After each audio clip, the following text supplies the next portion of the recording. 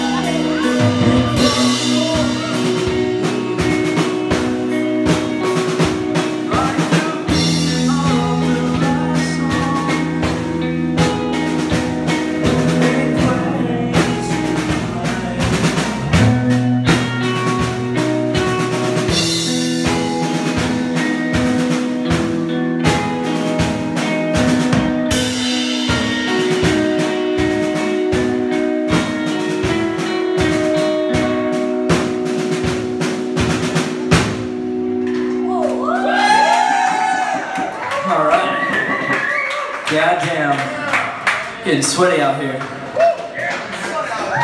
That's always a fun one to play. You know, it's crazy. You write songs about someone, and then the feelings that you had when you wrote that song are no longer true. So then you have to like take yourself there emotionally, like you just live in a memory, like a little bubble in your brain for a little while there. I'm just really fucking glad that I get to share that with you guys, like in that moment. It's fucking cool. Without you guys, that. Really fucking means a lot.